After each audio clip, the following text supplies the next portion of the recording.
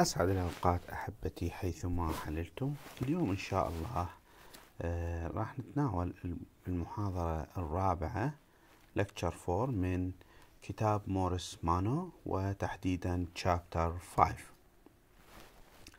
أحبائي تتأكدون أن تلفوناتكم على وضع الصامت وبالنسبة للطلبة اللي آه ما اطلعوا على المحاضرة التعريفية آه، أرجع وأذكركم بالمحاضرة التعريفية وهذا أمامكم ال QR code. تقدرون تاخذوا له آه، بكاميرا تليفوناتكم scan ويحولكم للمحاضرة التعريفية اللي بها الكثير من الأمور اللي تخص الإجراء الأفضل داخل المحاضرة الخاصة بي أرجع وأذكر على الهدوء والالتزام بالهدوء لأن الهدوء كلش مهم. وبنفس الوقت أنا ما أسمح بكلام غير الكلام اللي يخص المحاضرة.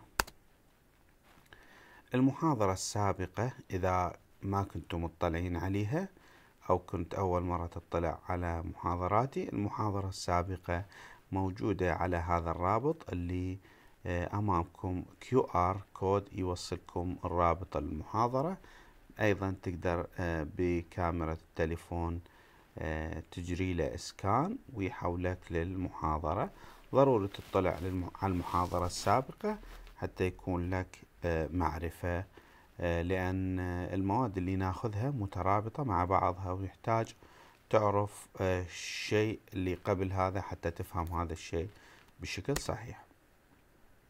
محاضرة اليوم إن شاء الله راح نتعرض إلى مقدمة وبعض التعاريف اللي تخص آه، ال instruction ونتكلم عن ال instruction code وال computer registers ال computer instructions الموجودة عندنا وال timing and control طبعا آه، أنا إذا أتكلم عن outline عن آه، مواضيع تخص الشابتر 5 كل الشابتر 5 إحنا أكيد إن شاء الله اليوم راح نغطي جزء من عندها ما راح نكمل كلها. بس مجرد حتى يكون عندك صورة شنو اللي موجود بهذا الشابتر كذلك راح نتكلم عن instruction cycle الميموري reference instruction input output and interrupt instruction والcomplete computer description والdesign of compute basic computer والdesign of accumulator logic واكيد أكيد أكيد دائما اني اكد على موضوع إحنا نقرا آه أنا أقدم لكم هذه الشروحات. إن شاء الله أحاول جاهدا تكون وافية وكافية من خلال الشروحات اللي تكون في المحاضرة ومن خلال الشروحات اللي أرفعها على اليوتيوب. لكن أرجع وأأكد أكثر من مرة أنه أنتم ضروري تطلعون على الكتاب وتقرون الكتاب. إن شاء الله اليوم بال computer instruction. راح نعرف شنو ال instruction. طبعا أنا استبقت الأحداث وخليت أول slide ال computer instruction اللي راح نحتاجها بال basic computer أو بال Mano's computer. هذه ال instruction كلش مهمة. خليتها بالبداية حتى أعطيكم علم بأنه هذه ال instruction راح نتعامل وياها هذه ال instruction راح نحتاجها هذه ال instruction هي اللي إحنا آه، ك computer architecture هي هسه بدينا إحنا خلينا نقول ندرس شيء بطعم ال computer architecture فخليتها صراحة بالبداية. آه، طبعا الجدول اللي أمامكم هذا الجدول خمسة اثنين موجود أيضا بالكتاب المنهجي مورس مانو. آه، فبهذا الجدول هذه موجودة كل ال instruction اللي راح نحتاجها. بس قبل لا أروح لل instruction خليني أرجع شوية لبعض التعاريف يقول ال symbol designation is a three letter word and represents an abbreviation intended for programmers and users. The hexadecimal code is equal to the equivalent hexadecimal number of the binary code used for the instruction.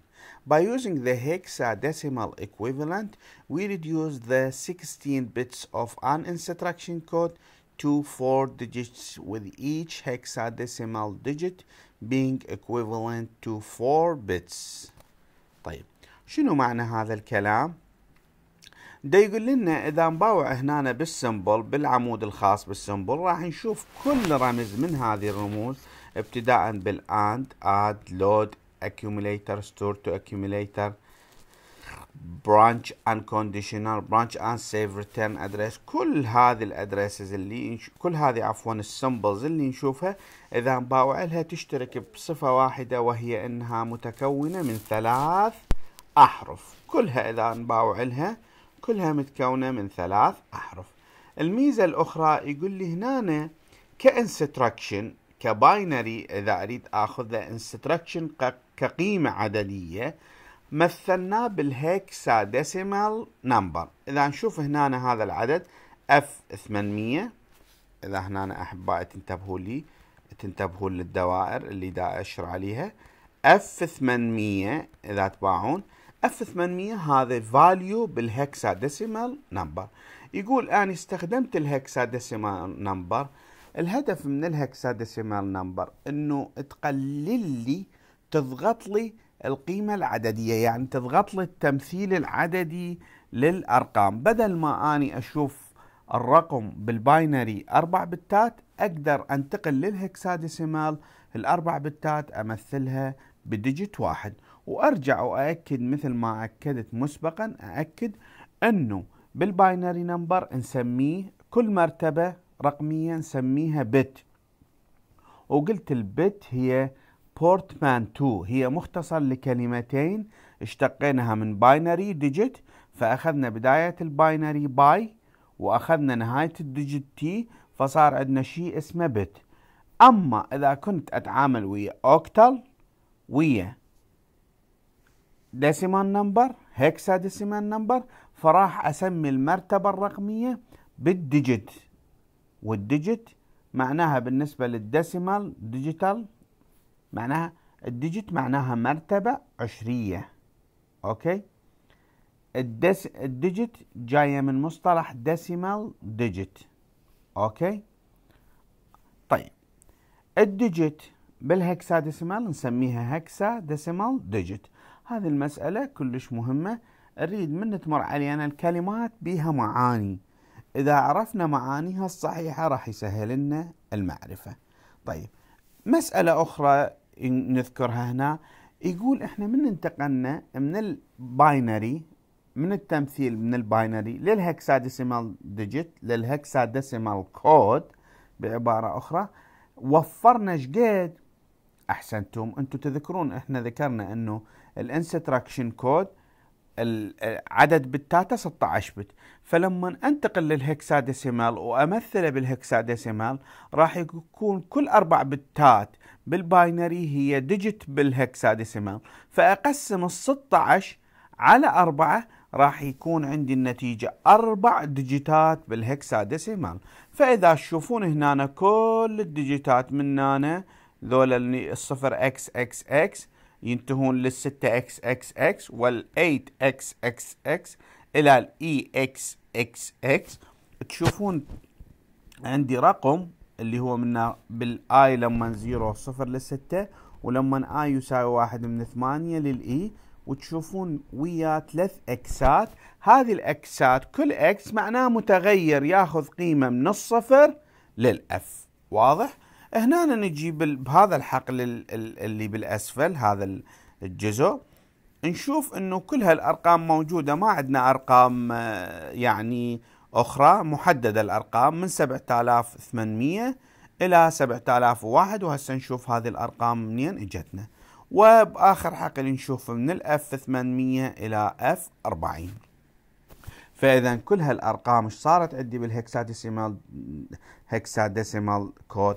كلها إذا تباوعون تشترك هذه القيم العددية بصفة واحدة وهي متكونة من أربع مراتب hexadecimal أو أربع مراتب بالعربية نسميها أربع مراتب ستة عشرية. طيب خلينا ناخذ هذا الجزء أول جزء اللي نشوفه. هذا الجزء هذا الجزء تقسم عندنا ب operations. هذه ال operations اللي هي ال AND memory word to accumulator. يعني أنت إذا إجتك هذه ككود أنت تعرف إذا يجيك مثل بالامتحان بالاختبار ب آه، بالموضوع كله هو يعني اللي ندرسه. من تشوف هذه الكلمة بهذه ال chapter الآن الآن معناه ممكن أنطيك يعني يكون عندك مثلا memory أنطيك تمثيل ل memory أقول لك هاي محتويات memory وريجسترات أخرى من ضمنها ال accumulator وأقول لك شنو اللي التحديث اللي يصير بعد أن تجري آه تنفيذ لهذه العملية. فال AND هنا راح تكون هي عملية آندنج بين محتويات ال memory word ويا ال accumulator وأرجع وأذكر بما أنه أستخدم ال memory دائما أعرف أنه ال memory address ال memory اللي أوصل له. إنه هو address يكون عن طريق ال address register. وأرجع وأقول بال memory عندنا شغلات ضروري نعرفها. لما نتعامل ويا ال memory لازم أعرف العملية هي read أو write هذه أول مسألة. المسألة الثانية لازم أعرف إنه ال memory أريد أوصل لل operand direct أو indirect ال direct إنه يكون ال operand ال address الموجود بال instruction هو يشير لل operand أما إذا كان indirect فإنه ال operand الخاص بي لازم أروح لمرتين لل memory نسميه two reference memory وهذه أحتاج إنه ال operand يكون address of address يعني أول address آه، اللي يكون بال instruction يوديني على address بهذا ال address راح أروح ألقى ال operand الحقيقي. يعني مرتين أروح أوصل لل memory.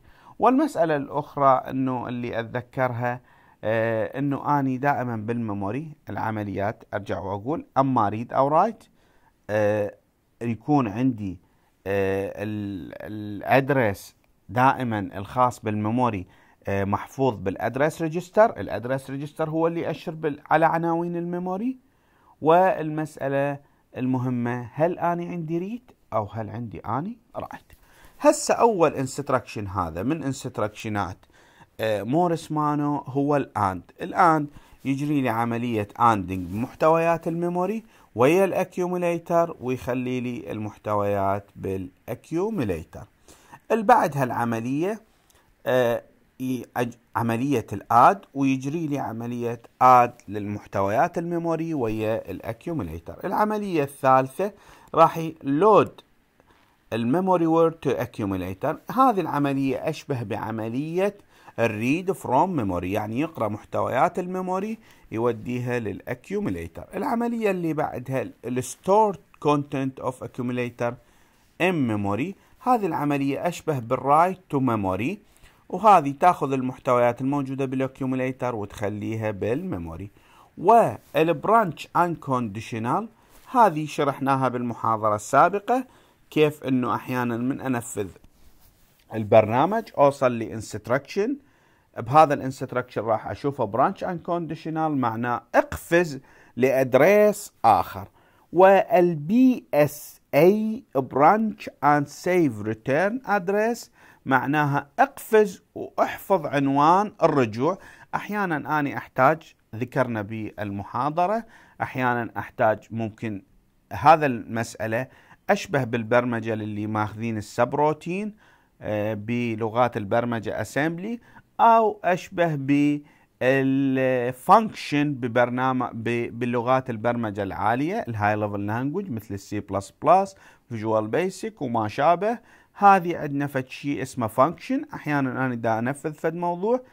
جزء من عنده أحتاج function أروح المكان ثاني أنفذ ال function وأرجع أكمل البرنامج فهذا هو ال branch and save return address وآخر instruction نشوفه increment and skip if zero ومسألة مهمة تشوفون إنه اني and كل هذه ال instruction لها عمودين عمود مرة لما I يساوي zero ومرة لما I يساوي واحد. فهذا معناه إنه ال instruction له شكلين. مرة ال instruction يكون عندي يكون عندي ال ending indirect ومرة يكون عندي آه اللي هو لما يكون i equal 1 ومرة يكون direct لما i يساوي 0 فكل ال instruction and add load store branch unconditional branch and save return address increment and skip if 0 هذه مرة إلها تمثيل بال direct يعني أني أشتغل ويا ال accumulator مثلا بس شنو؟ العنوان ال operand موجود بنفس ال instruction. Okay؟ العنوان الموجود بال instruction بال address register هذا كله هو عنوان ال operand. مرة لا لما يكون ال I واحد لا. معناه العنوان الموجود بال instruction اللي هو ال 12 bit اللي قلنا أول 12 بت بال بال instruction register اللي هي من 0 bit 0 ال bit 11 هذه وين تروح؟ تروح لل address register. بال direct قبل هذه اللي تروح لل address register تأشر لل operand بال indirect لا. هذه تأشر عنوان لعنوان ال operand يعني تأشر تروح لهذا الموقع بعدين تأخذ أيضا من عند الموقع الثاني. الموقع الثاني راح يأشر للاوبرنت واضح؟ وهذا ذكرناه آه، في المحاضرة السابقة. إذا آه، ما تذكرتوه أو عندكم مشكلة به ارجعوا للمحاضرة السابقة. راح تلقوه مشروح بشكل من التفصيل اللي يكفيك آه، فهم الموضوع. يكفيك طبعا ما راح يكون عندك أي غموض به ال instruction اللي بعدها اللي هي تشوفوها بهذا المربع تبدي بال CLA clear accumulator clear E flag complement accumulator وتشوفون أرجع وأقول هذه إلها hexadecimal code ليش طبعا؟ لأن إحنا نرجع ونقول إنه الحاسبة تتعامل 0 1 0 1 فاني ما عندي بالحقيقة الحاسبة ما تعرف هذه الثلاث رموز. هذه الثلاث رموز ان للتسهيل.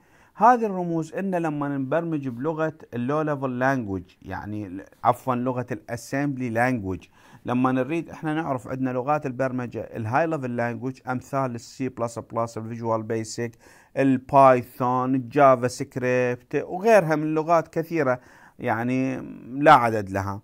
أه ومرة لا نبرمج بلغات اللي هي ال assembly language اللي هي هذه لغات ال microprocessors هاي اللغات اللي أكثر شيء يكون وياها أه تكون familiar بالنسبة للمهندسين اللي يشتغلون منظومات سيطرة. يكون هو يعرف مثل microprocessor 8086 أو microcontroller 8088 أو غيرها من ال microprocessors أو microcontrollers فيكون هو متقن كل لغة البرمجة فهو بالحقيقة يكون متقن هذه ال codeات اللي تكون من ثلاث رموز أو أكثر أحيانا. أكو بعضها تكون أكثر مثل ال move غيرها تكون أكثر من ثلاث رموز.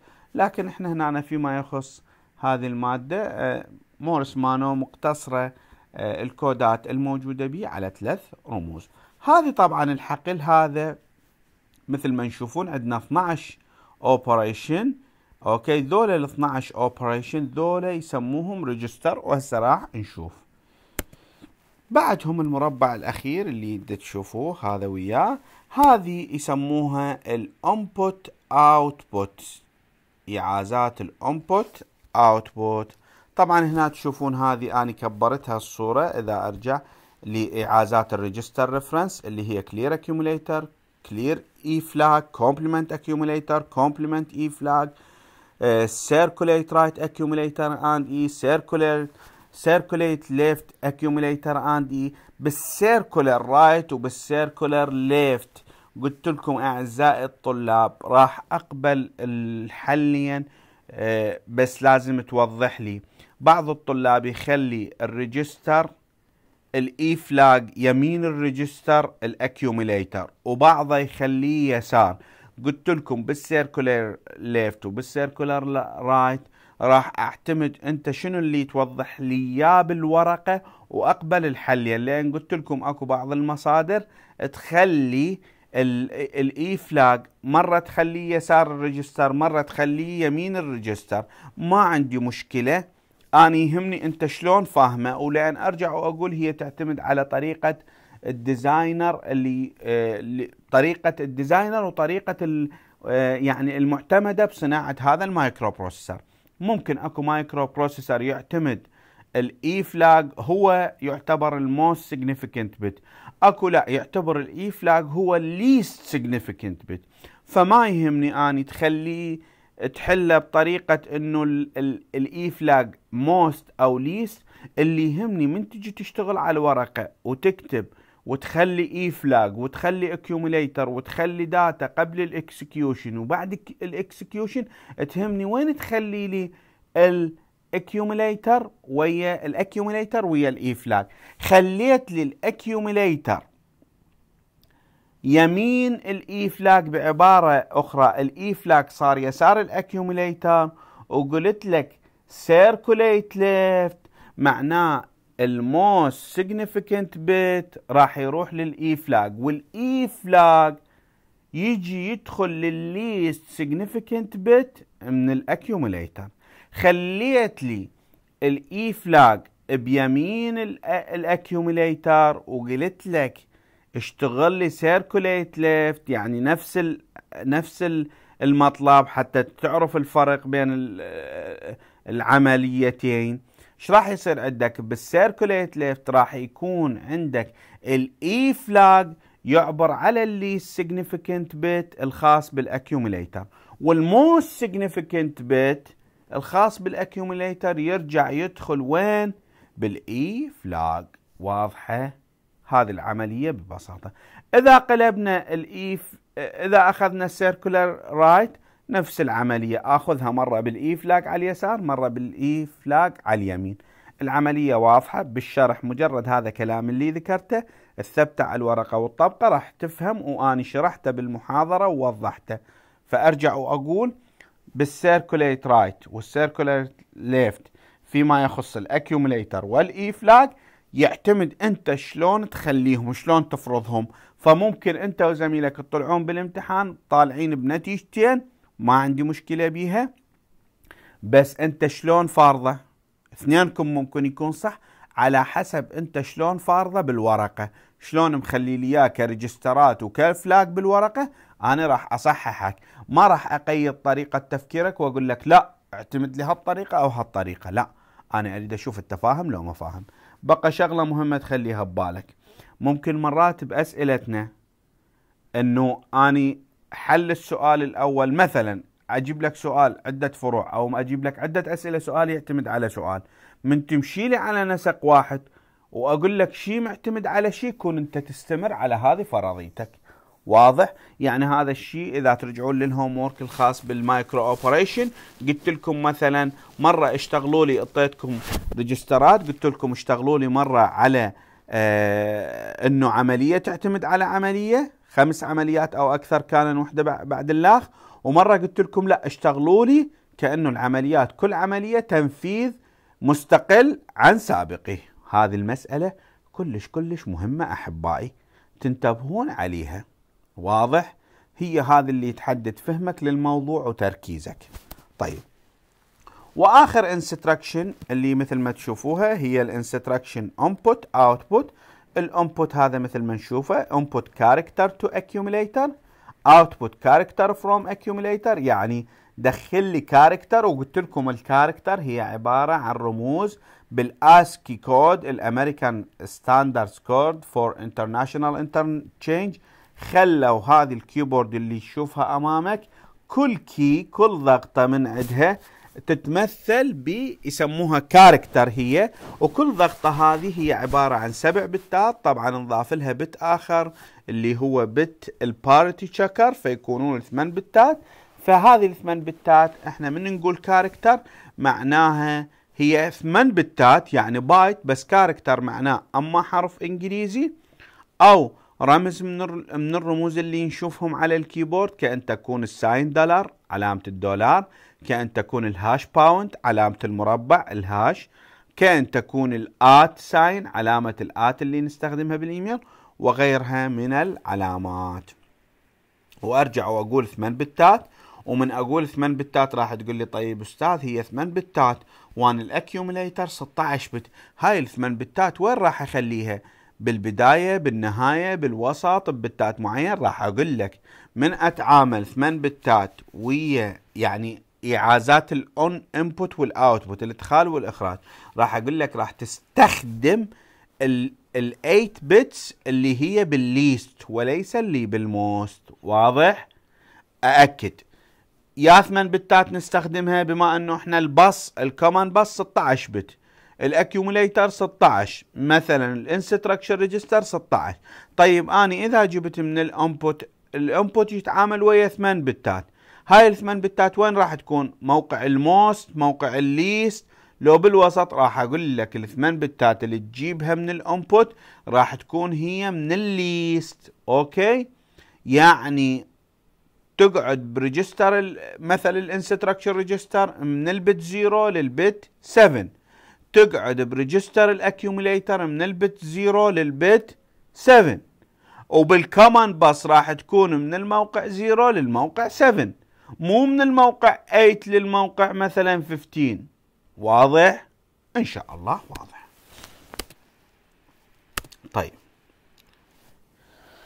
الانستراكشن فورمات البيسك كمبيوتر has a three instruction code formats as shown in figure 5.5 each format has 16 bits the operation code opcode part of the instruction contains 3 bits and the meaning of the remaining 13 bits depends on the operation code encountered. يقول ال instruction format عندنا إحنا 3 instruction codes for code formats هسه راح نشوفها طبعا. اللي هي ال memory reference instruction وال register refer اللي هو ال MRI وال register reference instruction RRI نختصره. وال I/O reference instruction okay ذولا الثلاثه ذولا منو يحددهم؟ أحسنتم. يحددهم ال opcode ال opcode من كم bit يتكون؟ يتكون من ثلاث بتات.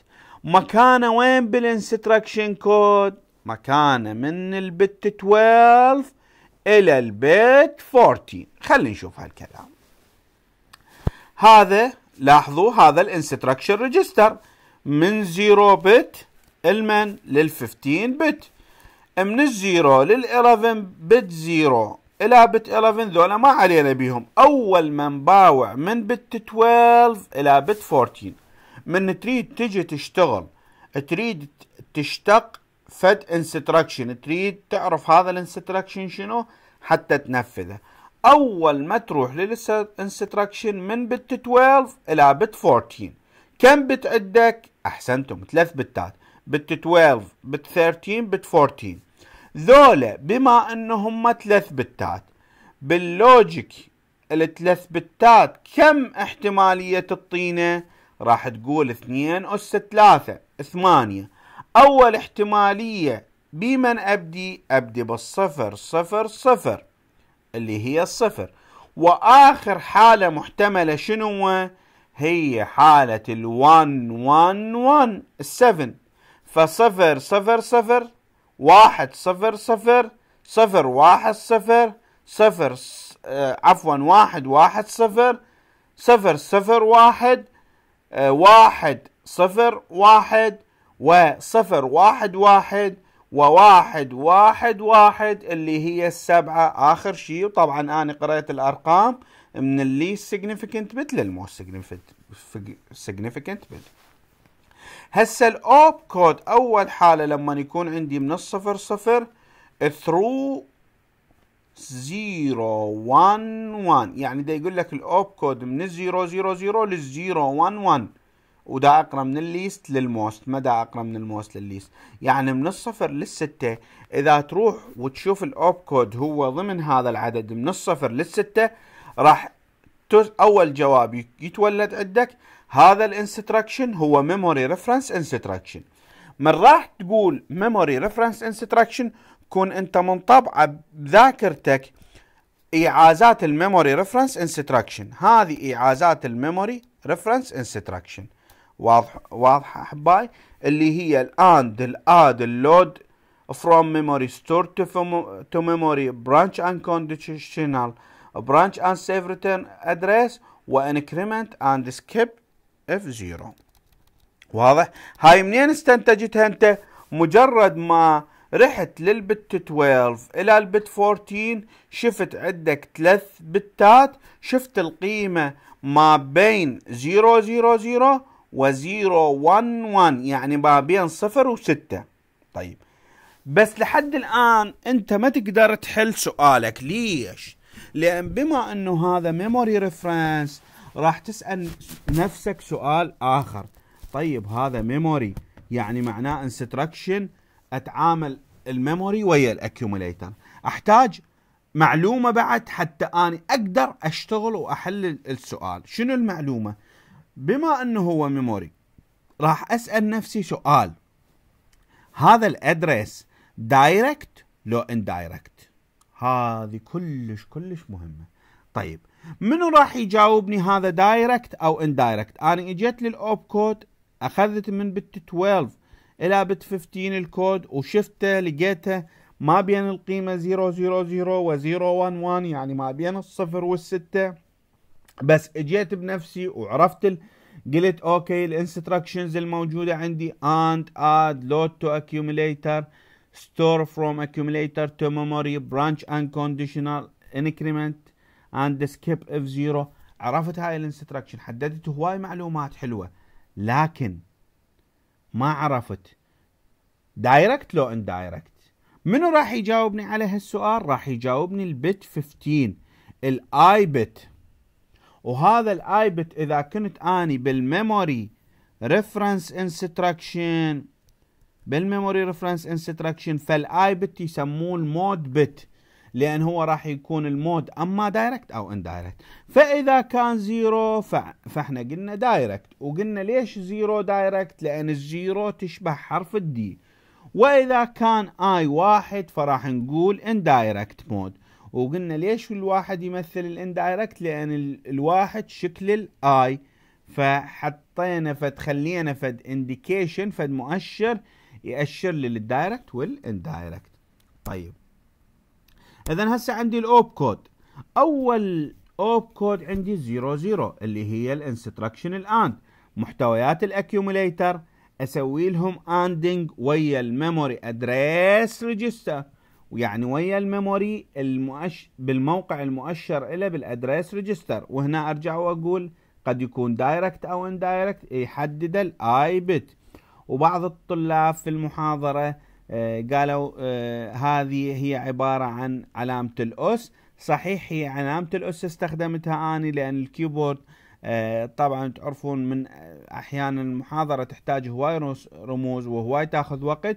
فهذه بالحقيقة هي مو علامة الكارت الرم معناها الأس لا علامة وكأنما ثمانية هذه بالعربي توصل للنهاية بس لأنه ال keyboard عندي ما يعني آه، أحيانا صعب هذه الرموز. فهذه معناها ال AND. okay؟ طيب. العملية اللي بعدها هي عملية ال addition وقلت لكم بال بال chapter السابق.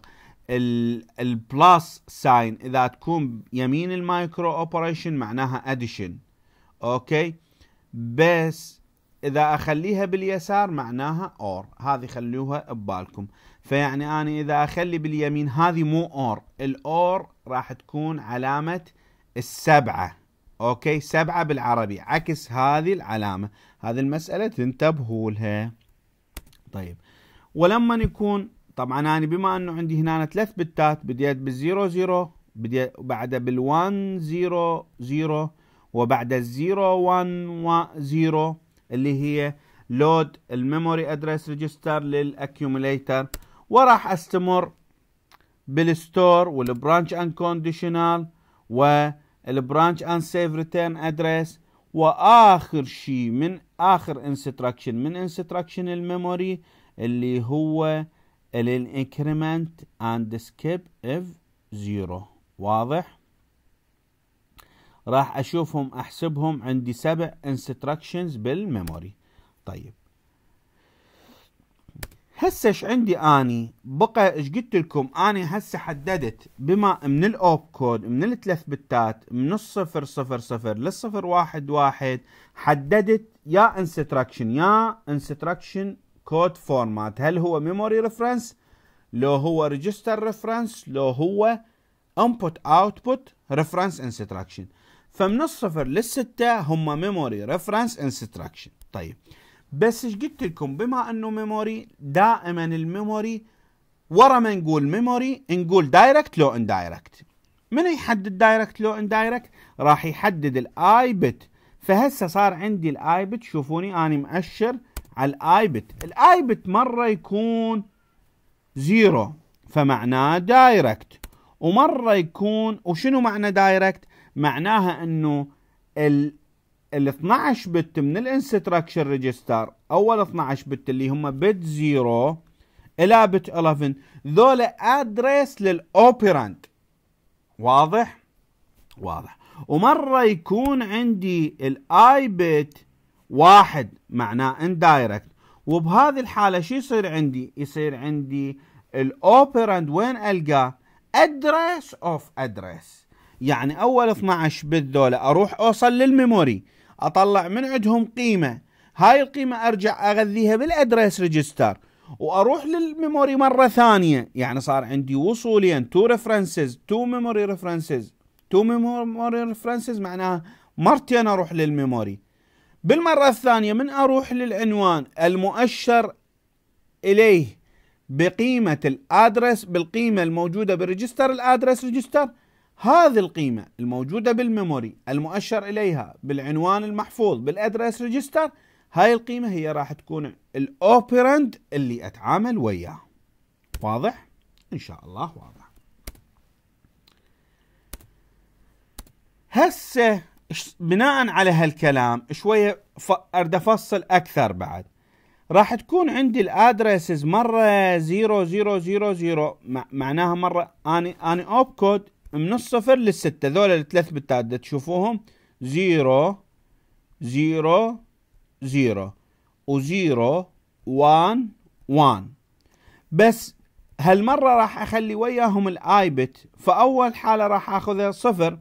فايش راح يكون عندي هذا ال most significant bit هذا كله صفر. فايش راح يصير عندي القيمة من صفر إلى ستة. وراح تتكون عندي ال instruction راح يكون شكل ال instruction بهذا الشكل. واضح؟ واضح. المرة الثانية لا راح آخذ ال I bit واحد. فايش راح يكون عندي ال instruction محصور بيا قيمة؟ محصور بين القيمة ثمانية وبين القيمة E بال hexadecimal ثمانية و E. خلينا نشوف. راح تكون عندي هاي أول قيمة اللي هي ثمانية. هذه القيمة الثانية تسعة. A بال hexa B C D وآخر قيمة هي ال E اللي هي zero من ال list 1 1 1 طيب طيب هسه إحنا قبل شوية شنو كان الأساس اللي نعتمد عليه؟ شنو الأساس اللي اعتمدنا عليه أحبائي؟ اعتمدنا على أساس ال opcode هذا ال opcode رحنا لل instruction register.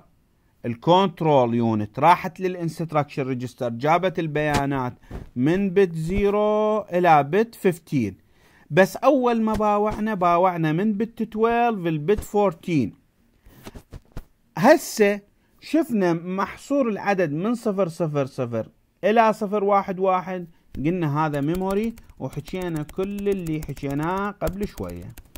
okay هذا كل اللي دا تشوفوه. طيب هسه إيش بقى عندي من ال opcode أني هم ثلاث بتات. ثلاث بتات معناها إيش قد؟ اثنين أس ثلاثة ثمانية. بدينا بالصفر صفر بعدها واحد صفر صفر بعدها صفر واحد صفر. بعدها واحد واحد صفر صفر صفر واحد وواحد صفر واحد اللي هي الخمسة وصفر واحد واحد اللي هي الستة. آه شنو اللي بقى عندي؟ أحسنتم. بقى عندي حالة الواحد واحد واحد اللي هي آخر حالة. فبهذه الحالة بالواحد واحد واحد راح أقول راح أكون instruction ين جديدات. أقول إذا كان عندي ال opcode واحد واحد وال I bit zero فهذا راح أسميه register reference instruction شو أسميه؟ register reference instruction R R I. اذا شنو اللي عندي؟ لاحظوا هاي من bit 12 هذا bit 12 bit 13 bit 14 ثلاث بتات باوعوهم ذولا ثلاثتهم واحدات وال I bit هذا ال bit 15 zero فهذه القيمة طبعا إيش قد هذه قيمته؟ قيمته بال hexadecimal 7 فهذا register reference instruction من أقول register reference instruction معناه يكون ال slide الثالث. أحبائي ال slide الثالث هذا تلاحظوا؟ السلايد الثالث عفوا ال slide الخامس وليس الثالث. هذا ال slide الخامس كون انت وين تجي تفكر؟ تفكر بال instruction هذه ال instruction. لاحظوا هذه ال instruction ال register reference لأن أول instruction تخص ال memory reference اللي بعدها هذا ال register وهذا طبعا ال I/O. فأنت من تشوف ال opcode واحد واحد واحد وتشوف ال I bit zero فبال hexadecimal هاي قيمتها سبعة راح تقول هذه register reference وهذا هذا السبب ليش شوفوا register reference ليش بادية تبدي كلها بسبعة. سبعة وثمانمية سبعة وأربعمية وسبعة وميتين وسبعة ومية. وهسه راح نشوف ليش هذه صارت سبعة ومية وسبعة وميتين وهالسوالف. كلها هسه راح نشوفها باشتقاق ال register باشتقاق ال instruction خلينا نرجع ل slide نا اللي كنا بيه. طيب. أما إذا كان ال I bit واحد فراح أقول input output reference instruction باوعوا لي باوعوا لي ال input output راح يكون عندي ال opcode 1 1 1 وال I bit اللي هو bit 15 واحد. فذول إيش قد قيمتهم المكافئة بال hexadecimal؟ F لاحظوا؟ فهنا أنا شو أقول؟ أو إذا bit 15 is بس هنا بهاي الحالة ال bit 15 ما راح أسميه mode bit فقط راح أسميه ال I bit خلوها ببالكم. لأن أنا ذكرت من الساعة بال memory reference متى أسميه ال I bit mode bit أسميه فقط لما نتعامل ويا ال memory. لأن أنا بال memory عندي two modes of access to memory أما direct mode أو indirect mode طيب. ومن يكون عندي F هنا من يكون عندي F ال instruction بادي لي ب F أروح أرجع للإنس... لل slide خمسة وأتذكر شنوش عندي بال slide 5 وين هال instruction الخاصة بال I/O هذه ال instruction الخاصة بال I/O هذه ال instruction اللي هي بهذا المربع.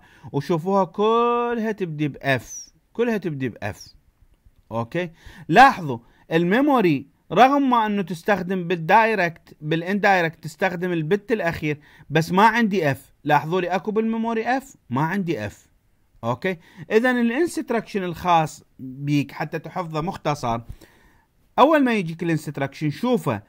ال... ك hexadecimal يبدي ب F إذا بدأ ب F معناه هذا input output إذا بدأ ب 7 معناه هو register reference instruction إذا بدأ بأرقام غير ال F وغير السبعة معناه هو memory قد يكون direct أو indirect وهذا ال indication هذا المؤشر كلش مهم حتى أنت تعرف ال instruction مالتك وشنو الريجسترات اللي راح تشتغل عليها. واضح؟ خلينا نرجع ل نرجع ل slide ثمانية. okay؟ ثمانية بعد slide تسعة. Okay.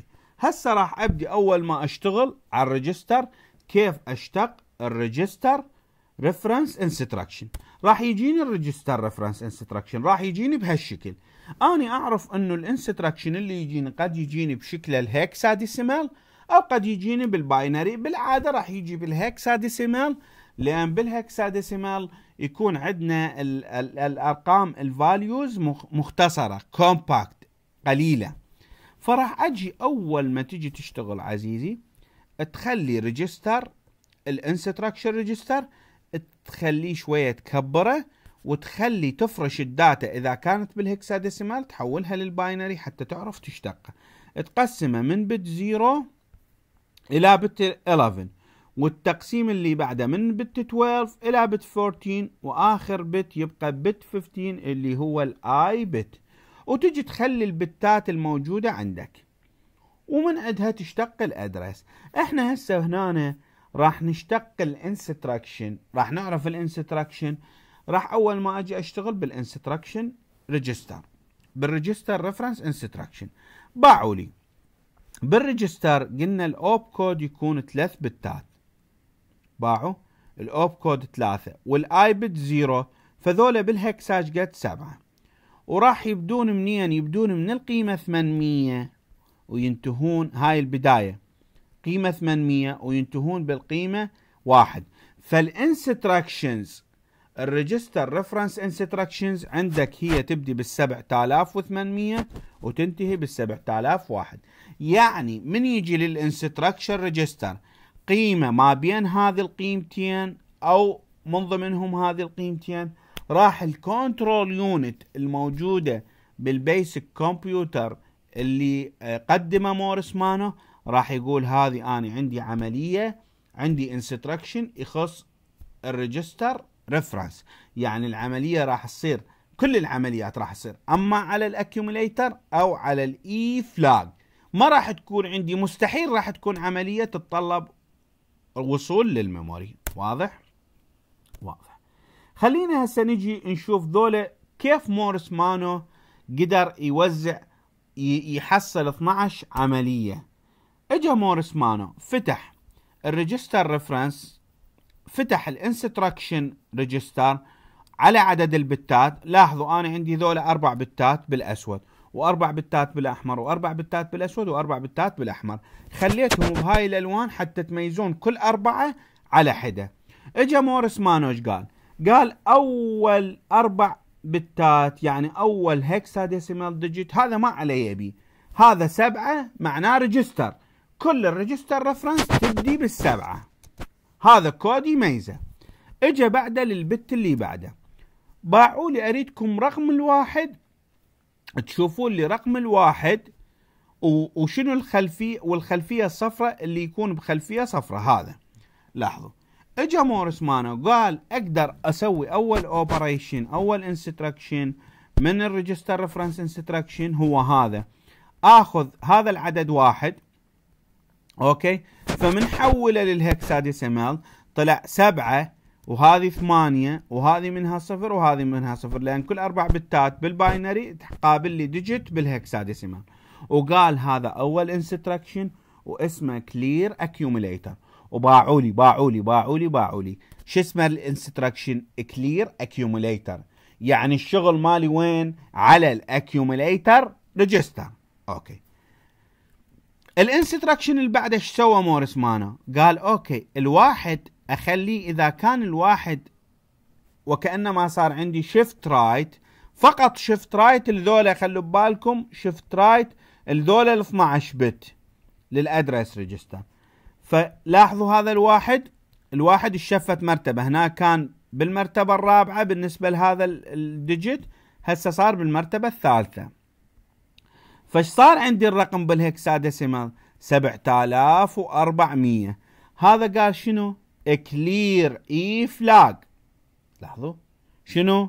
clear E flag اذا أو ال 7800 clear accumulator 7400 clear E flag خلينا نشوف اللي بعده. اللي بعده إيش صار عندي؟ شفته مرتبة لليمين. إيش صار؟ قبل شوية كان هنا الواحد هسه صار هنا إيش قد صار هذا شكل العدد؟ 7200 بال hexadecimal. قال شنو هذه العملية؟ complement accumulator okay؟ العمليتين اللي قبلها كان أول وحدة clear accumulator بعد clear E flag هسه complement accumulator طيب العملية اللي بعدها تشفت الواحد لاحظوا الواحد زحف مرتبة من اليسار لليمين اللي هنا. إيش قد صار بال hexadecimal؟ هذه القيمة 7100 هذا إيش صار؟ شو اسمه؟ لاحظوا هنا CMA complement accumulator هنا CME complement E flag دا تشوفون عليه من دا يشتغل؟ بالحقيقة دا يشتغل على register ال accumulator و flag ال E طيب اللي بعده؟ إيش قال؟ انشفت مرتبة. قبل شوية كان هنا 7100 هسه إيش صار؟ هذه صفر. هذه إيش قد؟ هذه من أجي آخذها. تعرفون أخذناها شرحتها مسبقا في محاضرات سابقة كيف نحول من binary ال hexadecimal وبالعكس. هذا إيش قد العدد بال hexadecimal؟ هذه أول مرتبة سبعة وهذه صفر وهذه ثمانية وهذه صفر. من أقرا بال hexadecimal؟ 7080 إيش قال؟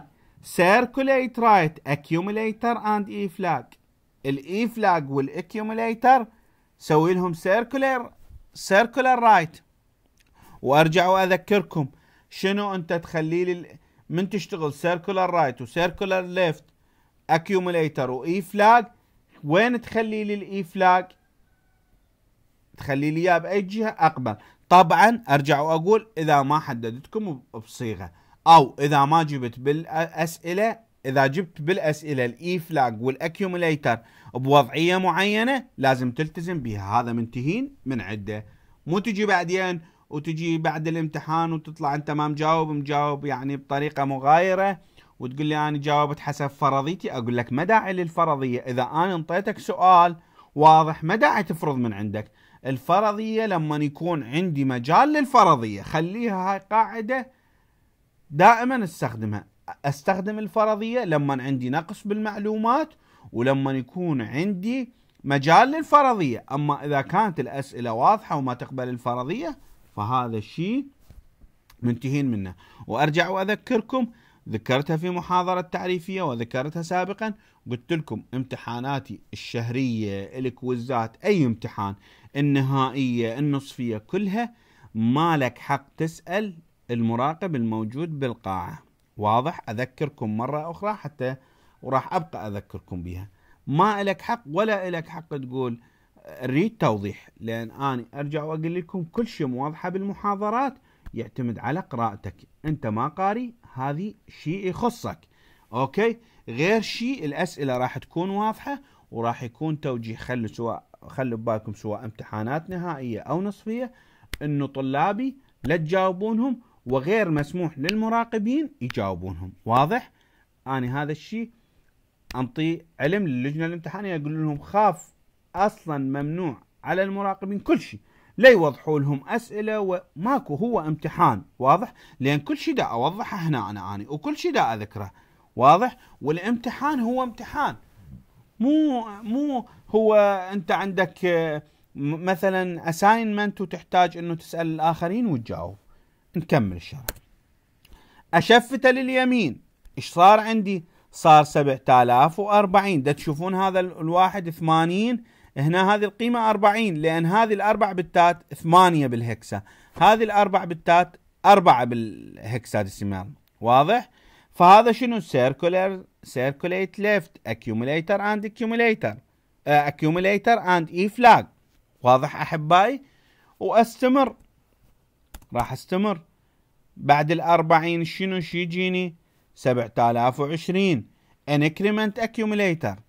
وأرجع وأذكركم شنو اللي دا نشوفه بهذه ال instructional reference كلها دا نشوف register ال accumulator التأثيرات اللي دا تصير ال operations اللي تصير هي فقط على ال accumulator وعلى الاي فلاج لذلك نسميها ريجستر ريفرنس اللي بعده 7010 escape next instruction if accumulator is positive طيب اللي بعده escape accumulator uh, escape next instruction if accumulator is negative هذا 7008 اللي بعده 7004 escape next instruction if accumulator is 0 7002 escape accumulate escape next instruction if e flag is 0 واخر instruction 7001 هولت كمبيوتر اتش ال تي هولت هولت معناها طف الحاسبة معناها دائما هذا الهولت نخليه لما يكون عندي البرنامج يكمل كمل كل البرامج هسه أنت ما عندك شغل بالحاسبة. جيت اشتغلت وكملت كل الشغل. وراها شو تسوي؟ تروح شت داون فهذا الإيعاز هو إطفاء للحاسبة لأن إحنا نعرف الحاسبة لازم يصير عملية إطفائها بشكل صحيح مو بشكل خاطئ. طيب. هسه العامل المشترك بهذه ال instructions اللي أخذناها لحد الآن ال register reference إنه كل ال operation على من تصير أحسنتم بارك الله بكم منتبهين. كل العمليات تصير على ال accumulator وال E flag هسه خلينا نشوف ال registers خلينا نشوف ال reference الأخرى. ال register reference خلينا نشوف ال reference instruction الجاية شنو؟ هو ال instruction الجاية هي بالاعتماد على شنو؟ وتأثيراتها على شنو؟ على ال register على ال memory على ال input output. okay؟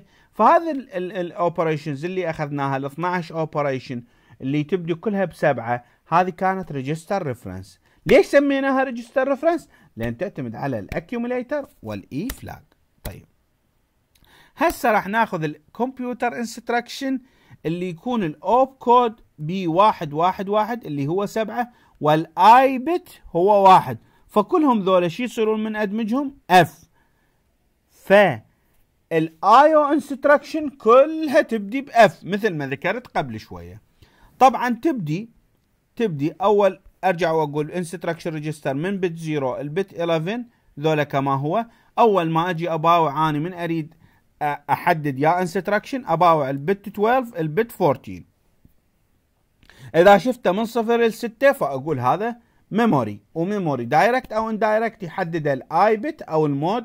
أو بعبارة أخرى ال mode bit. طيب.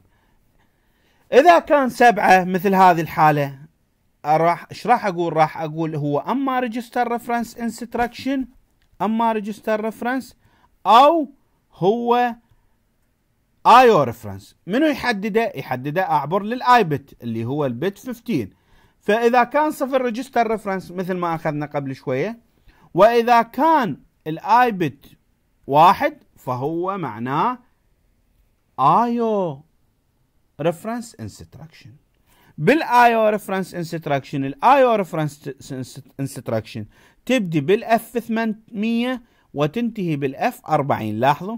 F 800 إلى 40 اذا ال range مال ال I/O reference instruction مثل ما نشوف هنا من ال F 800 إلى F 40 خلينا نشوف شنو هذه ال instruction وشلون موريس مانو بناها. طبعا إحنا هذا كل ال I/O instruction تبدي بال F مثل ما كل ال register reference تبدي بالسبعة كل ال I/O instruction تبدي بال F. طيب راح أجي لهذا ال bit.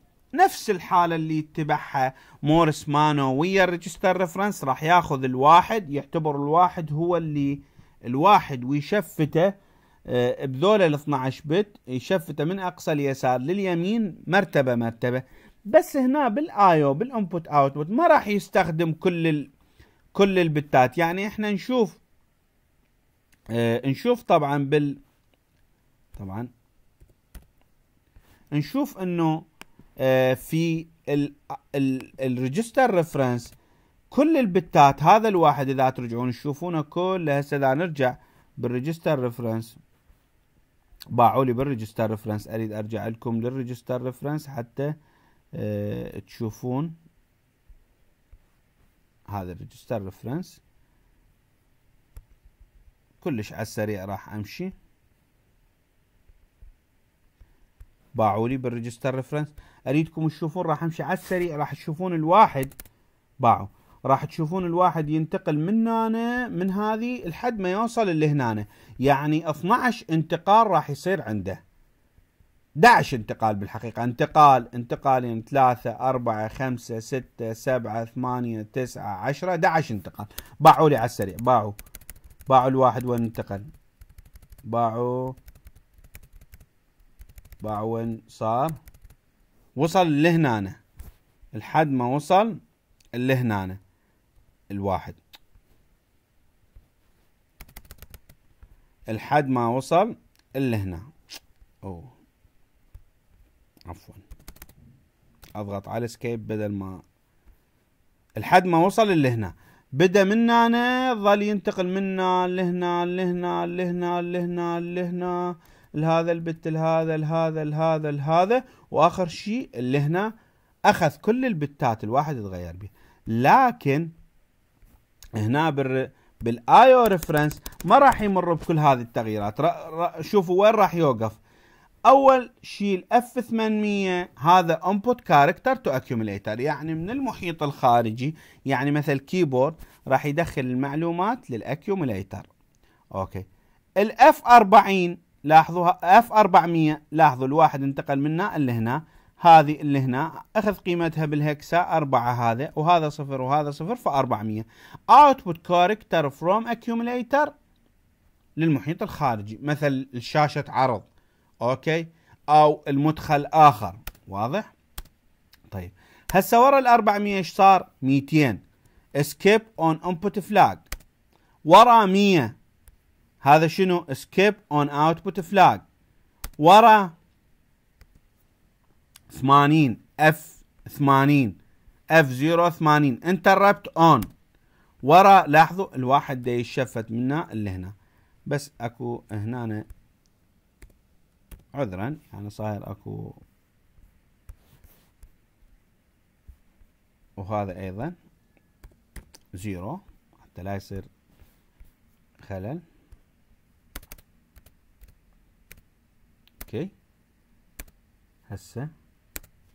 نرجع من البداية. هذا ال range الخاص ب ال range الخاص ب ال input output F 800 إلى F 40 بديت F 800 F 400 F 200 F 100 و F 80 ورا ال 100 يفترض و F 40 ولاحظوا انتهت عندي الكودات الخاصة بال I/O ليش؟ لأن هنا إيش قلت أني؟ يبدون بال F 800 وينتهون بال F 40 ما قلت ورا ال F 40 لاحظوا من وصلت لل F 40 أحبائي بال memory. ما أخذت كود مثل F 20 F 10 F 8 F 4 F 2 و F 1 اللي هو نفس ما كان عندي بال register reference لين يسأل سائل يقول ليش؟ لأن بالحقيقة مورس مانو اكتفى بهذه ال instruction بالنسبة لل input output. طبعا أكيد هسه إحنا ال input output عندنا إذا نتكلم عن الحاسبات الحالية ال input output بها instruction كلش هواي. بس مورس مانو في زمنه قال هذه ال instruction كلش هواي. وطبعا هو نرجع ونقول مورس مانو هو الأساس اللي ننطلق من عنده. يعني نشوف الأفكار اللي يفكر بها مورس مانو. ونشوف الأفكار اللي ينطلق من عندها مورس مانو ونشوف الأفكار اللي ممكن نبني عليها إحنا فيما بعد أفكار أخرى أو اللي الشركات بالحقيقة بنت أفكار وطورت المبادئ. طيب instruction completeness حتى آني أقول عندي instruction حتى أبني أي برنامج أي برنامج أقدر أشتغله بالحاسبة لازم تكون عندي ال instruction متكاملة. مبدئيا لازم يكون عندي arithmetic و logic و shift instruction arithmetic ممكن يكون عندي addition subtraction multiplication division. ال logical ممكن يكون عندي and or not XOR XNOR NAND كل هذه العمليات. ال shift ممكن يكون عندي shift right shift left arithmetic shift right arithmetic shift left circulate right circulate left كل هذه الأمور. طيب. كذلك لازم يكون عندي instruction كافية لل transfer مثل أنقل محتويات من محتويات. مثلا load load to accumulator store from, from accumulator to memory. هذه الأمور لازم تكون عندي. كذلك لازم تكون عندي instruction uh, تخص عملية ال program counter لأن أنا أعرف ال program هو set of instructions مجموعة من ال instructions أبدأ ب instruction وأنتهي لازم. لازم عندي program يحدد لي خطوة البرنامج كل كود إيش قد أني أتحرك حتى أجيب الكود اللي بعده. okay؟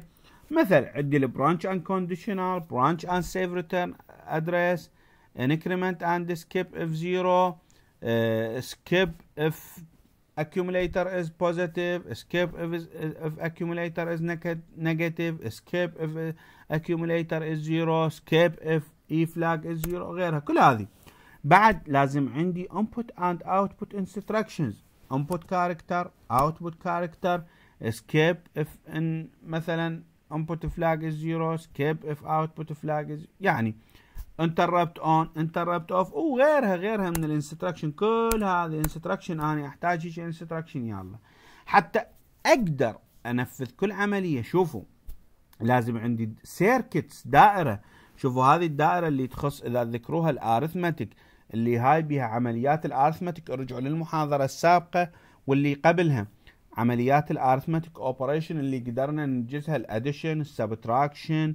الترانسفير الكومبلمنت كذلك لازم عندي العمليات ال logic and or XOR not هذه عمليات أساسية.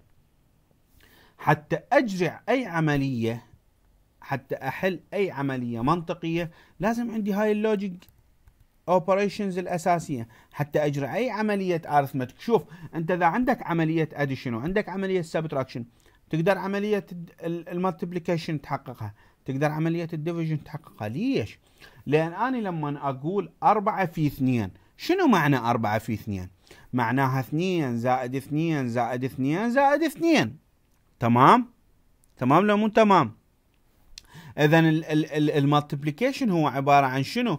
هو عملية جمع متكرر. ال division لما أنا أقول مثلا سبعة تقسيم اثنين. سبعة تقسيم اثنين ثلاثة ويبقى واحد. هذه العملية كيف أجريها؟ أنا أقول السبعة تقسيم اثنين. أقدر أقول هي عبارة عن ستة. هي عبارة عن سبعة. تق... ناقص اثنين. ناقص اثنين. okay؟ ناقص اثنين. مثلا يعني أظل اجري عملية بالحقيقة shift وعملية subtraction وعملية subtraction يعني لما أقول سبعة تقسيم اثنين ثلاثة واحد بالعشرة. فأني مثلا كون أجري عملية shift لما يكون عندي سبعة أجري عملية shift right راح تكون قسمة على اثنين. وأناقصها واحد راح تكون عملية تعطيني الناتج. مرات تعطيني الناتج الصحيح طبعا اجرع إذا كان العدد ب آه، مو صحيح بي باقي راح تكون عندي أحيانا مشكلة. لازم يكون عندي مرات أ check. طبعا هذا أيضا في دائرة ال division ودائره ال multiplication مثل دائرة ال Booth multiplier هذه في مراحل متقدمة. هذه آه، نشوفها شلون نجريها. بس مثلا لما يكون عندك ثمانية تجري لها shift right شو يصير عندك؟ لما هي 1 0 0 0 لما shift right تصير عندك 0 1 0 0 هي عبارة عن إيش قد صارت؟ أربعة. طيب لما يكون عندك اثنين اضربها باثنين. لما هو صفر واحد صفر. لما أعطيها shift left راح تصير واني إذا أقرأ من ال least لل most راح تصير صفر صفر واحد اللي هي أربعة. واضح؟ اذا ال multiplication بالحقيقة هو عبارة عن جمع متكرر. لما نقول أنا أربعة أربعة في اثنين. معناها اثنين زائد اثنين زائد اثنين زائد اثنين. ولما أقول أربعة تقسيم اثنين. أوكي؟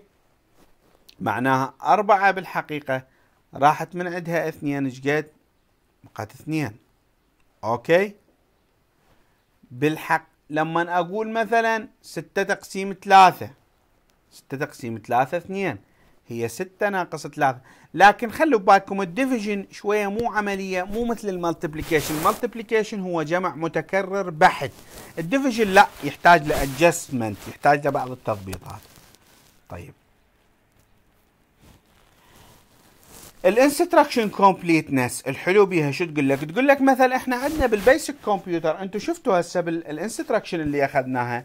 أخذنا add أخذنا subtract بس ما أخذنا multiplication ما أخذنا division أوكي؟ فيقول لك ال instruction completeness كون أنت ت... عندك instruction أساسية هذه ال instruction الأساسية أي instruction أخرى تقدر تبنيها. يعني أنا هسه قلت لكم مثلا مثلا مثلا إحنا شفنا بال... بال... بال circuit اللي صممناها. ما شفنا multiplication بس أقدر أضيف دائرة إضافية أوكي؟ مثلا لما أقول أربعة في اثنين أقدر أخلي الدائرة أوكي؟ أخلي بيها الاثنين أوكي؟ وأخلي آه الاثنين مدخلين وأجمعهم مرتين يعني اثنين زائد اثنين راح يعطوني أربعة أوكي؟ زائد اثنين ستة زائد اثنين ثمانية.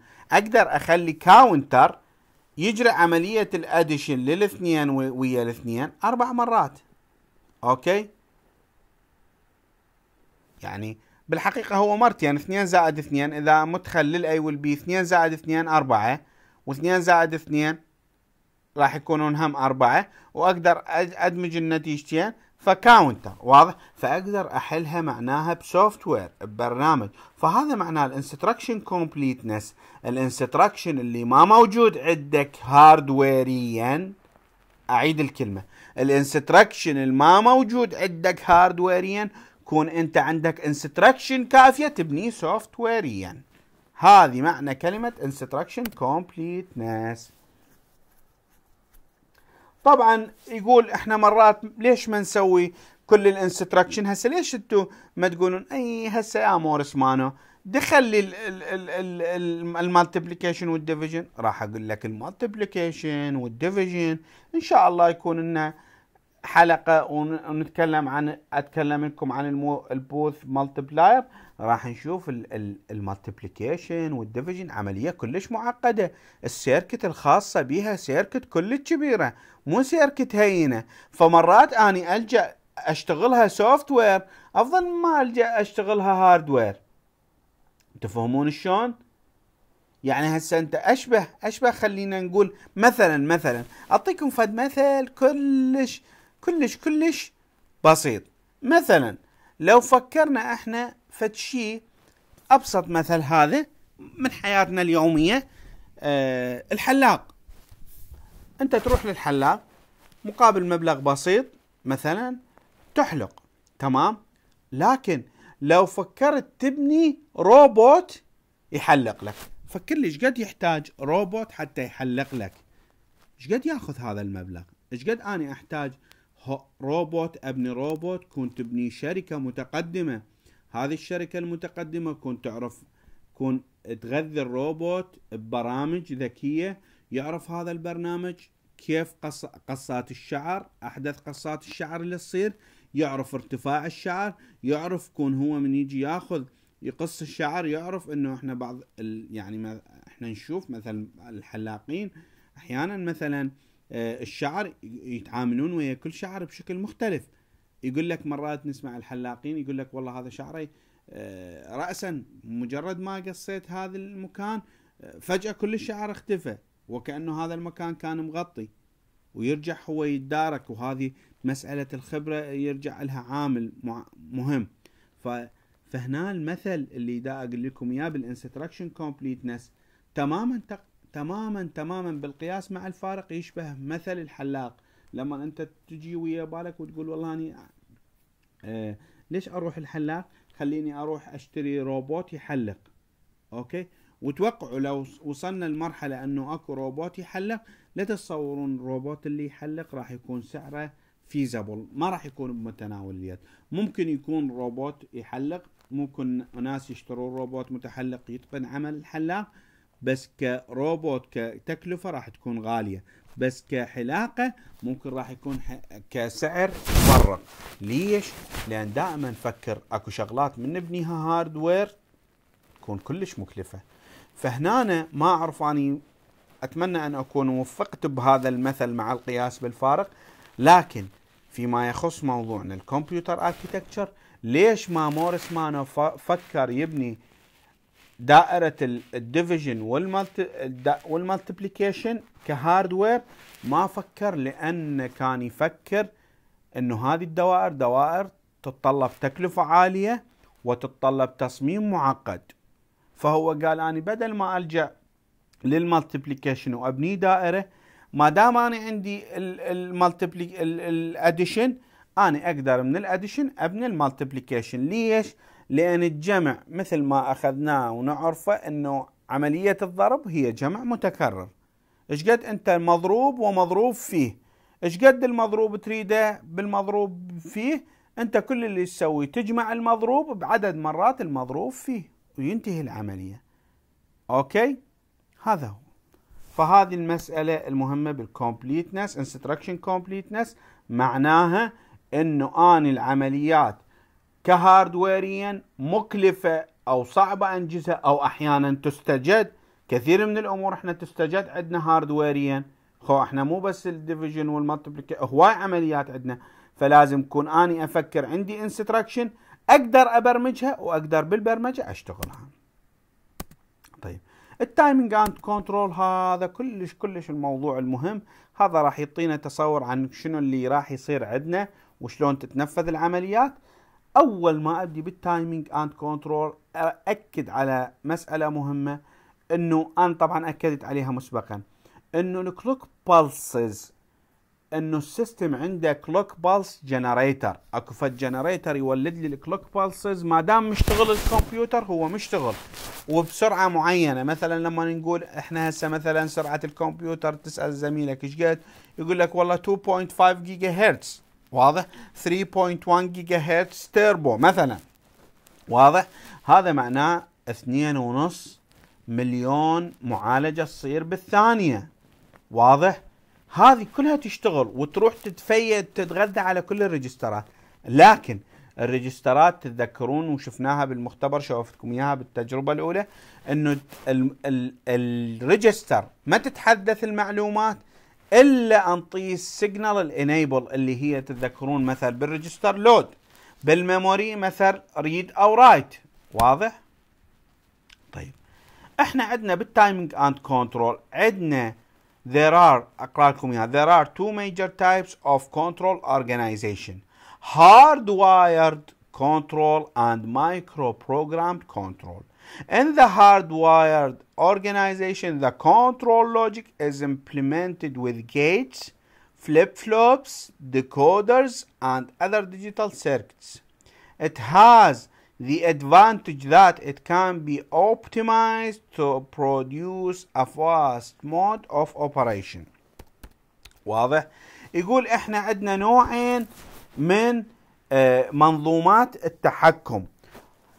عندنا ال hardwired control ال hardwired معناها إنه أني أصممها آه تصميم واحد. أني عندي مثلا memory أتحرك عليها عندي مثلا sequence counter ذولا أصممهم hardware بحت هالتصميم ما يقبل تعديل عليه فأحتاج gates logic gates أحتاج flip flops أحتاج decoders أحتاج مكونات digital أخرى. أوكي؟ الحلو بهالشغلة تلاحظون هذا يقول it has the advantage that it can be optimized to produce a fast mode of operation. لأن أني أشتغله hardware يا راح أقدر أجري عليه عملية optimization يعني أجري عليه عملية أقل عدد ممكن من ال gate ات وأسرع وقت للتنفيذ. وهاي وهواي أمور أخرى من أمور ال optimization طبعا من نقول optimization معناها ممكن نقلل عدد ال hardware إلى أقل ما يمكن ممكن نزيد السرعه إلى أكثر ما يمكن ومن هالقبيل لكن in the in the micro programmed لاحظوا وين in the micro programmed organization اذا إحنا عندنا ال timing وال control two organization hardwired وال micro programmed ال micro programmed the control information is stored in a control memory اذا أنا راح عملية ال control تتم من خلال برنامج ينخزن بذاكرة التحكم ذاكرة السيطرة The control memory is a program to initiate the required sequence of micro operations. هاي ال control memory هي اللي راح تبدي لي تقول لي يا micro operation نبديها. A hardwired control as the name implies ال hardwired control ال control اللي يعتمد على ال hardware على ال hardwire يعني على مو على برنامج مثل ما الاسم يشير اليه requires change in the wiring among the various components if the design if the design has to be modified or changed. ال hardwire راح يتطلب من عندي اني أن أجري تغييرات على ال design نفسه hardware يا يعني بعبارة أخرى أنت راح تتعامل ويا board مثلا مثل ال board اللي أخذته مثلا آه، ال main board اللي أخذته بمختبر الإلكترونيك آه، وتوصيلات مقاومات. مثلا مثلا logic gates wires LEDs actuator ما أعرف شنو شغلات أخرى. كلها أنت راح تتعامل ويا شغلات hardware يا أما بال micro programmed in the micro programmed لاحظوا control any required changes or modifications can be done by updating the micro program in control memory. يقول بينما بال micro program أنا من أريد اجري تغيير هو software برنامج أطب اعدل عليه أشبه لكم هالمثل. اليوم إحنا تسمعون بال أكو board ات اشتهرت للهواة. بالحقيقة هي أشبه بال بالناس الألعاب هي تعتبر ألعاب بالحقيقة للناس الهواة اللي عندهم آه، عقول متفتحة وعندهم قدرة للبرمجة. هذه البوردات اللي هي الأردوينو. هذا الأردوينو تشتري كيت هو ب 15000 مثلا ب 20000 حسب طبعا هو دا ينزل آه، سنويا. خلينا نقول تشتري كيت يعني سعره بحدود ال 40000 ما يتجاوز. كل هذا أي شخص ممكن عنده هالمبلغ يقدر يشتريه واللي هو feasible متوفر وعلى الحاسبة وبرنامج سي بلس بلس وتنزل التطبيق الخاص بال Arduino من الشركة مجاني كله مجاني. وتربط ال Arduino على الحاسبة بال USB وتغذيه 5 فولت وويا أيضا آه، تجي سنسرات sensor للحرارة sensor مثلا يجي وياه buzzer يعني جرس تجي وياه شغلات تقدر تبرمج أي شغلة. أي شغلة تريد يعني شغلات طبعا أرجع وأقول هواة. مثلا إذا انفتحت الباب خلي لي آه، خلي لي مثلا جرس يدق. مثلا إذا صار حريق أكو بي sensor للحريق يصير حريق من يوصل sensor الحرارة يتحسس الحريق. خلي لي مثل آه، مرشة solenoid يعني صمام مال ماء ينفتح. كلها من هالأفكار وهالقبيل. فهذا برنامج أنت تغيره.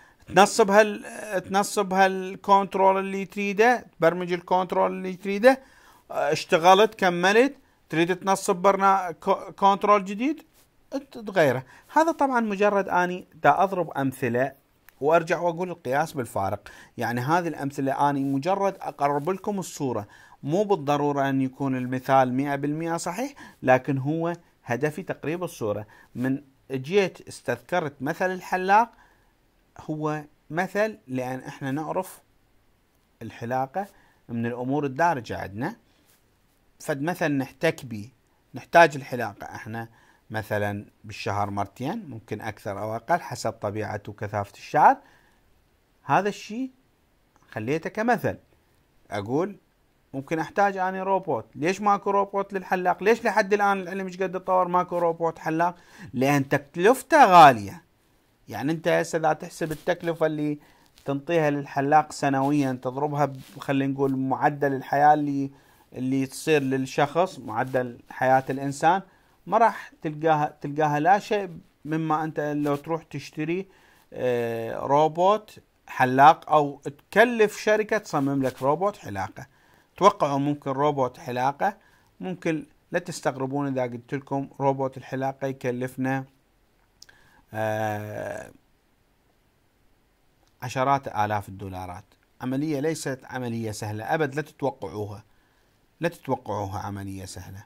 واضح؟ فإن شاء الله هذه الأمثلة هي للتقريب وإن شاء الله توضح لكم الصورة.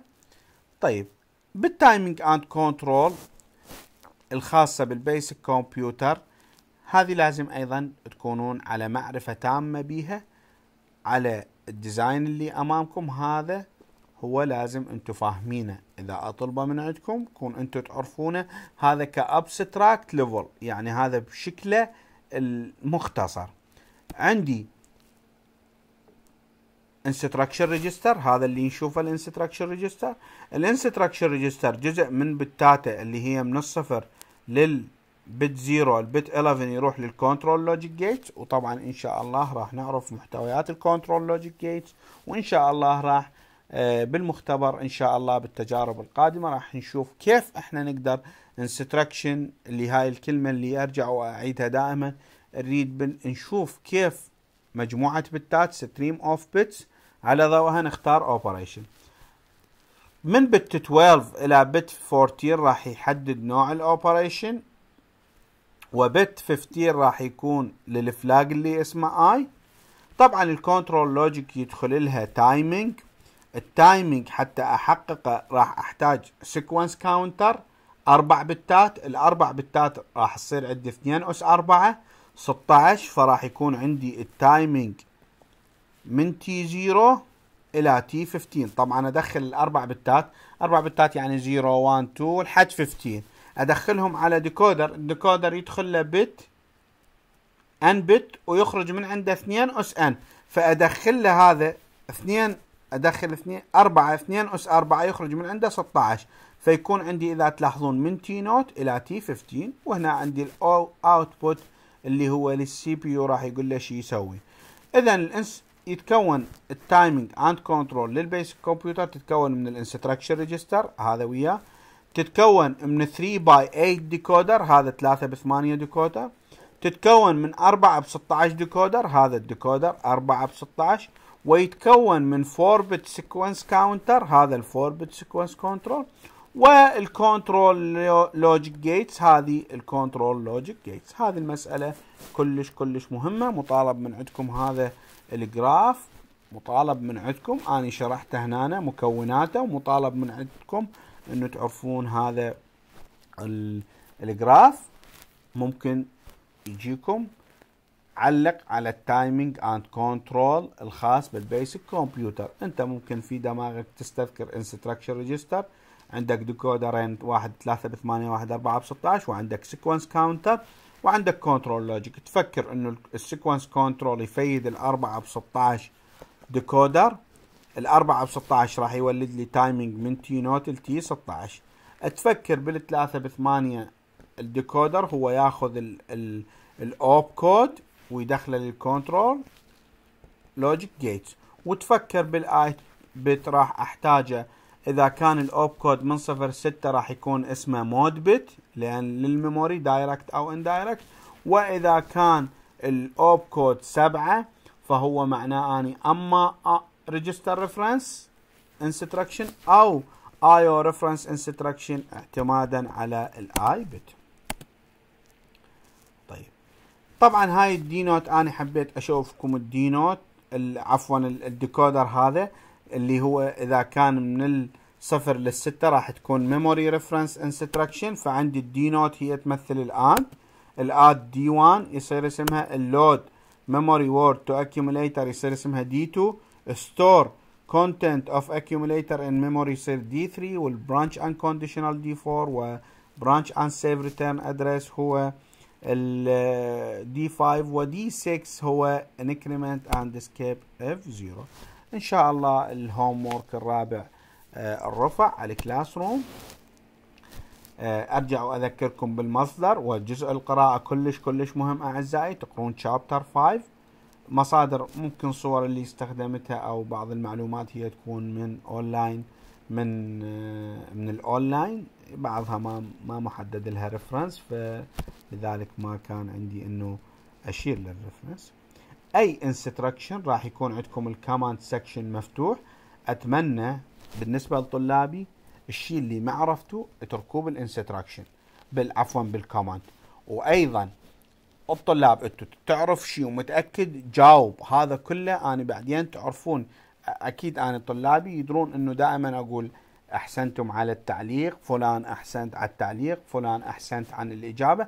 هذا الشيء كلش كلش أنصح به لأن أنت ممكن هذا التعليق اللي تخليه السنوات القادمة يجي طالب يدرس هذه المادة هو بباله هذا السؤال راح يلقى السؤال راح يلقى الجواب راح يقول رحم الله والديك فلان أنت خليت هيك سؤال يدور بذهني ورحم الله والديك فلان أنت جاوبت هيك السؤال عرفت هسه أنا هذا السؤال أنا هذه أعتبرها صدقة جارية المحاضرات فأنت أيضا خلي يكون لك جزء بهذه الصدقة الجارية.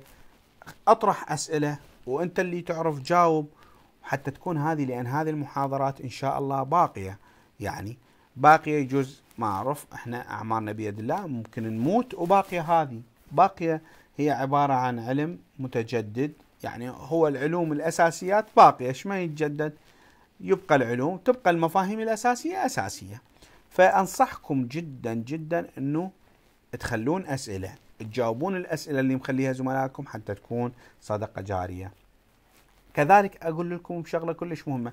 دائما تابعوا ال description box.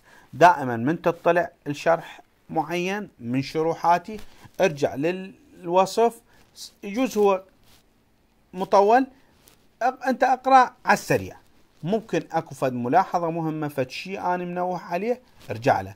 ممكن اني خطأان في موضوع معين ارجع اكد عليه ارجع اصححه بال description box. ليش لا؟ جل من لا يخطأ. إحنا مو إحنا بشر بالنهاية نخطأ. كل شيء معرضين لكل شيء مهما نحاول نكون مثاليين مهما نكون مجدين راح ممكن اكو هفوات عندنا. ارجع واذكركم اللي ما مشتركين بالقناة يشتركون بالقناة. هذه القناة هي أحمد الحسيني بها قوائم تشغيل كلش متنوعة لكن إحنا فيما يخص الكمبيوتر اركيتكتشر خلوا ببالكم هذه محاضرات الكمبيوتر اركيتكتشر للفصل الدراسي الأول كلها موجودة. هسه هذه المحاضرة إن شاء الله أنتم بالوقت اللي تشاهدون هذه القائمة اللي هي كمبيوتر اركيتكتشر 1 اللي هي هذه وياه راح تكون محدثة ممكن بالمنهج كاملا. بالوقت اللي تشاهدوه اللي يكون هو مغاير لهذا التوقيت أو ممكن آه، أكيد بالوقت اللي يشاهدون هذه المحاضرة إنه هذه المحاضرة هي موجودة هنا. كذلك أنصحكم بالمختبر. مختبر بكل أمور تطبيقية تشوفنا شنو اللي يصير. و آه، باللوجيسم هذا اللوجيسم هو البرنامج اللي نستخدمه المختبر كلش كلش المختبر المعمارية ويفيدك أيضا ممكن المشروع التخرج.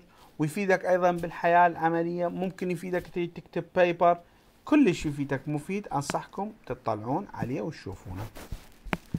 آه، حتى نلتقي إن شاء الله في حلقة أخرى وموضوع آخر جديد إن شاء الله. دمتم أحبائي في رعاية الله وحفظه.